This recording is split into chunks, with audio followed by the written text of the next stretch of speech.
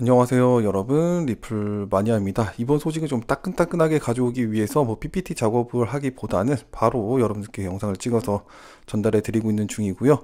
지금 코인데스크에서 올라온 뉴스이긴 합니다. 리플사에서 저번에 최신 최근에 어 그 청산 위기로서 어 문제가 있었던 셀시우스 네트워크 그래서 뭐 암호화폐 대출 사업을 하고 있는 이 셀시우스를 리플사에서 지금 인수를 하려고 하는 그런 움직임들이 좀 보여지고 있기 때문에 뭐 기사로서는 리플랩스에서 무게를 싣고 있다.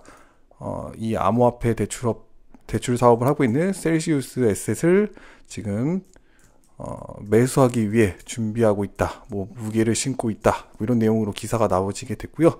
기사 내용을 좀 보시면은 샌프란시스코 기반으로 된 암호화폐 회사인 리플랩스가 요 리플랩스 요 그림을 보고서 제가 XRP 랩스하고 좀 헷갈려가지고 좀 자세하게 좀 알아봤었는데 XRP 랩스가 아니고 리플랩스입니다. 바로 리플사에서 리플사에서 굉장히 표현을 했다고 합니다. 관심의 표현을 했고 어떤 관심이냐라고 했을 때 문제가 있었던 암호화폐 어, 대출 사업을 하고 있는 셀시우스 네트워크를 구매하기 위한 어떤 관심을 가지고 표현을 했다 이렇게 볼 수 있고요. 리플사의 어떤 대변인이 이 수요일 수요일 수요일쯤에 이제 말을 하게 됐다라고 하는데 자세하게 좀 내용을 보면요. 완벽하게 완벽하게 셀시우스 네트워크를 구매하는 거에 대해서는 어, 코멘트를 거부했다라는 표현이 있습니다.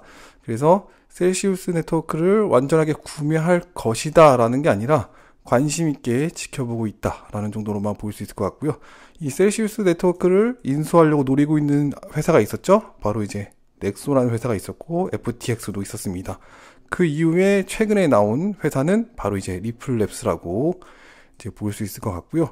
뭐 리플사에서는 즉시 어, 이거에 대한 어떤 코멘트를 하지 않았다라고 합니다.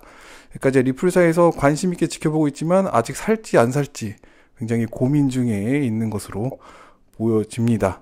그래서 뭐 그 리플사가 이 세시우스 네트워크를 매수할 수 있는 거고요. 인수할 수도 있는 건데 아직까지는 관심적으로만 보여지고 있는 것 뿐이고 어, 어떻게 될지는 자세히 좀 살펴봐야 되지 않을까 생각이 듭니다. 그래서 뭐 지금 인수한다라는 것은 아니고요. 관심이 있고 지금 여러 가지 보고 있다. 근데 이 그 리플사의 대변인이 인터뷰에서 수요일에 이렇게 화요일에 이야기를 했었다라는 건 알고 계시면 좋을 것 같고요.